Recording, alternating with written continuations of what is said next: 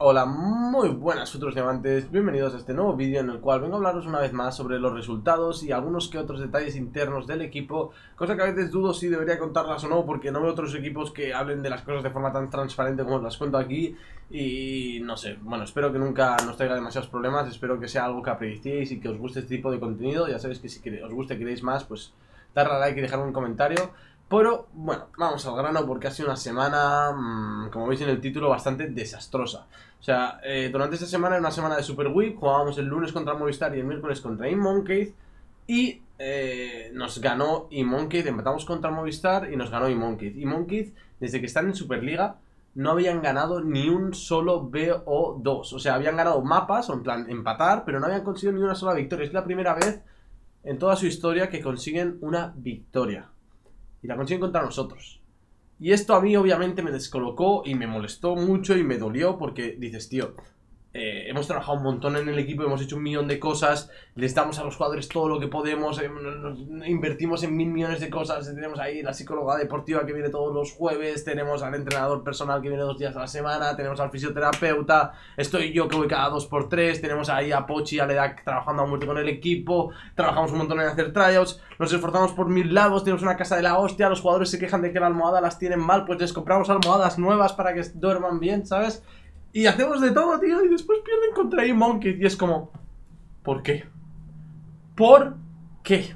Yo encima, el lunes estuve con el equipo, ¿vale? Y el lunes eh, eh, contra Movistar me fui de la casa, me fui como a las doce y media ya, con muy buenas sensaciones. El equipo empató contra Movistar, pero con una, un ambiente de trabajo muy bueno. Se habían trabajado mucho de cara al partido de Movistar tenían pensadas jugar dos setups y jugaron exactamente esas dos setups que tenían pensadas jugar y las que habían estado entrenando a muerte. La primera setup eh, NetRealm se pusieron bastante por detrás, pero tuvieron una fuerza mental muy buena, una mentalidad muy positiva y consiguieron hacer el combat con unas teamfights enormes por parte de Kaze, que era el que había estado jugando peor, pero después controló el tilt y fue realmente el que jugó después mejor las teamfights en late game y conseguimos la victoria, eso me encantó. La segunda partida la perdimos, pero porque la perdimos nosotros, o sea, jugamos una setup súper loca, un Tarik medio con curar y exhaust junto a un Yi jungla, los dos iban todo el rato juntos, ya de medio a la jungla, de medio a la jungla, de medio a la jungla, de medio a la jungla y realmente la partida la teníamos en nuestra mano, pero la decidimos tirar porque estaban sobreexcitados y no tuvieron suficiente paciencia y no jugaron con suficiente cabeza. Pero en general, muy buenas sensaciones, ¿sabes? Porque, joder, empatas contra Movistar, empatas contra Giants, pero con buenas sensaciones ambos partidos. Eh, en scripts estás ganando a equipos muy, muy, muy tops, como por ejemplo a Mad Lions, ganándole más partidas de las que perdemos. Muy buenas sensaciones en general. Dices, tío, el equipo va para adelante. Por fin estamos haciendo el trabajo bien, por fin vamos a conseguir ser de los, los mejores de la liga o incluso los mejores. Vamos a esforzarnos. Me acuerdo que la charla del lunes fue: estamos aquí, aquí con los mejores de la liga. Así que, oye, si nos esforzamos el doble, podemos ser los mejores de la liga, los números uno. Muy bien, todos muy motivados, una charla muy productiva, un buen feedback después del partido. Me voy. El miércoles tengo que viajar a Tenerife por la mañana y volver por la misma tarde-noche y eh, volví a Barcelona como a la una de la mañana y me iba de Barcelona a las 8, ¿sabes? O sea, bueno, una locura de día. Pero la cuestión es que mientras estoy en Tenerife, miro la partida, porque no me, no me pude ver la primera partida porque estaba haciendo una conferencia ahí por la TLP, y cuando miro la partida veo que ya han perdido la primera contra Monkey. Y digo, ¿cómo? O sea, nuestro equipo que iba tan bien, que estábamos jugando contra los mejores a muy buen nivel, y de golpe perdemos contra Monkeys, tío, dices, ¿qué está pasando, tío? O sea, cuando lo vi, me hizo el corazón o el estómago en plan, me empezó a venir una rabia, pero obviamente me controlo, ¿sabes? Y no hago ninguna estupidez, pero en el momento fue como, me cago en la puta, ¿sabes? En plan, ah. Después veo la segunda, hacemos un draft de mierda, una basura, en verdad. O sea, bueno, a ver, tampoco te tenía porque tenías la win condition de que si te pones por delante tienes una ventaja en top, pero a la mínima que la partida no estés al minuto 20-25 con mucha ventaja, en lo que es el 5 contra 5 no tienes ninguna forma de ganar las teamfights. Y, y, dices, a ver, ¿qué, está pasando, tío? ¿Qué está pasando? O sea, no entiendo nada. Perdimos también la segunda, por eso os digo que Montes llevó la victoria. Y claro, entonces yo estaba ahí aún a punto de coger un vuelo, ¿sabes? Y no entendía qué coño había pasado. Entonces yo eh, vuelvo el miércoles y yo el jueves en teoría tenía que hacer eh, tryouts con la academia. Pero obviamente los decidí delegar y me decidí eh, a irme. Me he pasado todo el jueves y todo el viernes de reuniones con el equipo, hablando uno a uno con cada jugador, con el staff técnico. He tenido. Con Ledak, por ejemplo, estaba hablando como, como dos horas, con Pochi también. Después con Ledak y con Pochi juntos, trabajando exactamente qué había pasado, por qué ha pasado esto y, qué podemos hacer para, para, para sacar el equipo adelante, ¿sabes? Porque es que esto no puede ser que con todos los recursos que vamos poniendo, no puede ser que perdamos contra. Ah, me acabo de dar en, el brazo contra la silla. Au. Pero estoy bien.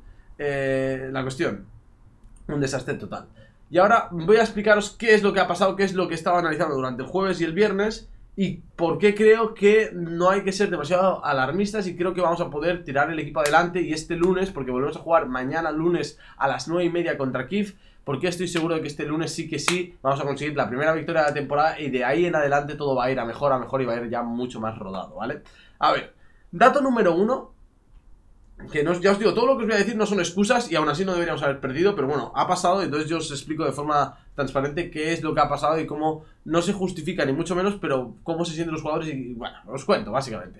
Lo primero, ha habido un parche muy importante al cual Monkey se adaptó mucho más que nosotros. Nosotros, justo en ese parche, básicamente eh, pues no estábamos tan adaptados como ellos. Ellos tenían un pick muy fuerte como es Lucian. Cosa que, por cierto, a Cedric aquí es para cortarle el cuello. Porque yo me acuerdo de decir en una reunión que tuvimos ahí hablando un poco. Dije, Lucian va a estar muy roto con el Legends River. Es un campeón que ahora con los cambios que han hecho a los Sidecarries, Lucian va a estar muy fuerte. Y el cabrón se rió de mí, tío. En plan, de buen rollo, pero dijo, no, no, no, ni de coña, no sé qué. Lucian es una mierda, Lucian es una basura, bla, bla, bla, bla. bla. Pues justo nos parte la cabeza un Lucian. Y es como, ¿en serio? ¿En serio? La cuestión, que Monkeys estaba mucho más preparado para el partido contra nosotros que nosotros contra ellos. Nosotros, como que era una Super Week, eh, bueno, esto es cosa de, más de Pochipun que decide plantearlo así y obviamente él ya admitió su error y sabe que de cara al futuro pues no lo tiene que plantear de esta forma, pero se, se practicó y se planificó muchísimo el partido contra Movistar y después contra Monkey decidimos que iba a ser un poco más eh, ya rodado, en plan, trabajamos a muerte contra Movistar y después ya, a partir de después del partido de Movistar, empezamos a preparar el de Monkey. ¿Qué pasa? Que entonces empezamos a preparar el draft con muy poca antelación, con un parche tan eh, extensivo antes del partido, después por otra parte, el martes nos cancelaron las scrims y el plan B, al habernos cancelado las skins, fue decir, bueno, venga, pues chicos, a jugar solo Q todo el mundo, cosa que me pareció fatal y en este caso ya les he echado la bronca al staff técnico porque es algo que no puede pasar, ¿no? Que no puede ser es que te cancelan la skin y estás a un día pre-partido de competición y ponerte a jugar es, solo Q. Hay que hacer, antes del partido de competición, hay que hacer algo todos juntos, una dinámica de grupos. Si no se pueden jugar partidas, pues se ven partidas, se ven, se ven bots, pero todos juntos se analizan partidas y se crea una positividad del equipo en general, ¿sabes? Pero no puede ser que antes del partido lo que haces es pues dejarles a los chavales de free durante el día y que encima aún el draft no estuviese ni bien preparado ni nada. Después, los dos drafts que se hicieron contra Monkeys fueron, en mi opinión, bastante malos, podrían haber sido muy, muy, muy mejorables y esto básicamente viene por no haber tenido suficiente preparación. Si tú, el mismo, el mismo trabajo y el mismo esfuerzo que se puso para Movistar se pone contra Monkeys, no hubiese pasado lo que pasó contra Monkeys, ¿vale? Pero todo esto es la mínima parte de lo que realmente influyó muchísimo en lo que viene siendo el nivel del equipo. Por una parte, como ya sabéis, Prime está acabando aún sus estudios, aún le queda eh, hasta el fin de semana de Gamers y no acabará justo el fin de semana de Gamers y acaba los los torneos, o sea, los exámenes, ya para poder centrarse en la competición. Pero básicamente Prime este miércoles, cuando jugábamos, se despertó a las 6 de la mañana para hacer dos exámenes en Francia. Ya estaba en Francia entonces, ya llevaba un par de días ahí que no había podido jugar mucho porque estaba ahí entrenando en Francia. Hizo los dos exámenes en Francia y pilló un tren para volver hacia Barcelona. Entonces llegó a la casa, a la Gaming House, una hora y media antes del partido. Entonces, obviamente, Prime, habiéndose despertado a las 6 de la mañana, habiendo tenido que hacer dos exámenes, habiendo llegado a Barcelona una hora y media antes del partido, pues no estuvo a su 100%. Eso afectó bastante al equipo. Por otra parte, algo que también afectó bastante y esto eh, es algo que espero que os lo toméis muy en serio porque eh, quizá no todos compartáis este tipo de cosas, yo tampoco soy demasiado religioso, pero es algo que hay que entender que para eh, muchas otras personas es muy muy muy importante, ¿vale? Pues Kadir, nuestro jungler, es un jugador que es musulmán, entonces ahora mismo está haciendo el ramadán y decidió saltarse el ramadán para poder rendir al mejor nivel en la competición y tuvo mm, el desliz, el error un poco de que cuando se fue a comer no esperó a que llegase la segunda tanda de comida, porque bueno, en plan, fueron nada, ¿eh? Dos minutos de, retraso, o 30 segundos quizá, porque no estaba ahí, pero es lo que me han contado. Eh, en la cual empezó a comer y lo que comía, pues llevaba alimentos que él no puede consumir nunca, pero encima aún menos durante el ramadán. Entonces, en el momento que se dio cuenta, porque después cuando trajo Patricia, que es nuestra cocinera, eh, trajo la comida para Kadir, y lo vio, pues entonces Kadir mm, le explotó el cerebro, ¿sabes? Fue como mierda, ¿sabes? Se puso, se alteró mucho, se fue a su habitación, estuvo un buen rato solo, lo pasó muy, muy, muy mal, así que con este tema de verdad, mucho tacto, por favor, pero básicamente explicar que, claro, a un jugador le pasa esto, Kadir, que es siempre el chico más sólido del equipo, es el que juega mm, mejor durante todo el early game, no hemos perdido ni una sola partida cuando este hombre está con Graves, es increíble, es una bestia, y justo esa partida, pues jugó bastante mal, la verdad, Y, estoy seguro de que eso le afectó, porque es que somos humanos, somos personas, detrás de la persona que está jugando un campeón en el LOL es una persona humana y, un problema como este pues obviamente te afecta muchísimo y te baja el rendimiento. Después pues lo dicho, son más los factores esos de que no nos habíamos preparado suficiente para el partido contra Monkeys el desliz de Prime, o sea, de Kadir, el, el, hecho de que Prime tuviese los exámenes, el hecho de que antes del partido no hubo una buena dinámica. También se juntó que el miércoles por la mañana, cuando ya está todo esto está totalmente estipulado, no entiendo por qué pasó, porque esto ya lo he dejado mil veces claro, que los días de competición durante las mañanas no hay actividades. Por las mañanas los jugadores son libres, se pueden despertar a la hora que quieran, pero mm, que sea relativamente razonable, pero no como otros días que a las 11 de la mañana pues hay una clase de español, o eh, viene el entrenador físico, o viene el fisioterapeuta, o viene la psicóloga. No, los días de competición son libres por la mañana para que los jugadores puedan descansar, puedan hacer sus propios rituales, sus propias rutinas de competición y lo que sea.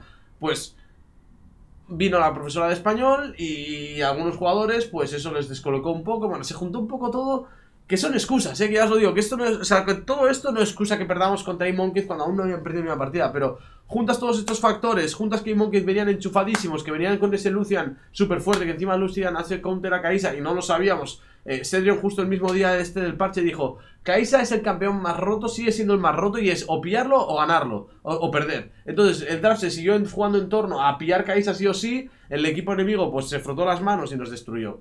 Y nada, pues la verdad que, en este aspecto, pues bueno, pues perdimos, lo dicho, eh, de 6 puntos que podíamos conseguir, conseguimos uno, ahora mismo estamos penúltimos en la clasificación, estamos en un momento bastante jodido, así que aún os pido más apoyo, ya que en los momentos jodidos es cuando más se necesita este tipo de apoyo, así que si podéis darle eh, ánimos a los chicos, tenéis por aquí por el vídeo, las redes, o sea, en la descripción del vídeo, las redes sociales de los chicos, vamos a ver qué tal salen, eh, qué tal sale el partido de mañana contra Kif, espero que consigamos ya por fin la primera victoria, creo que, ya os digo, me he pasado todo el jueves y todo el viernes de reuniones con el equipo, con los chavales, con el staff, viendo cómo podíamos mejorarlo. Sobre todo hemos trabajado muchísimo con el staff porque creo que el trabajo que estaba haciendo el staff era bueno, pero podría ser muchísimo más eficiente y podría ser muchísimo mejor. También hemos hecho algunos pequeños cambios en el horario y algunas cosas con los jugadores para que aún mm, puedan rendir más. Y estoy seguro que con estas cosas que hemos estado cambiando, pues las próximas semanas van a ir mucho mejor. O eso espero. Por favor, por favor, por favor, de verdad. Estaré viendo el partido con. Lo estaré detrás de ellos, pues estaré viendo el partido ahí comiéndome las uñas, ¿sabes? Sufro más cuando estoy viendo los partidos que cuando los jugaba. Y nada chicos, pues esto va a ser todo, lo dicho, este lunes eh, a las 9 y media jugamos, muchas gracias por haber visto el vídeo, espero que os haya parecido interesante, espero que, que valoréis todo este tipo de información que os estoy dando, que la verdad, ya os digo, son asuntos internos que a veces dudo si los debería compartir o no, porque son cosas personales y son cosas que afectan directamente al equipo, pero yo siempre me ha gustado mucho la transparencia, me ha gustado mm, explicar claramente qué está pasando y por qué se pasan las cosas, y nada, espero que, que os guste y nos vemos en el próximo vídeo. Adiós, a cuidarse y a subir mucho velo.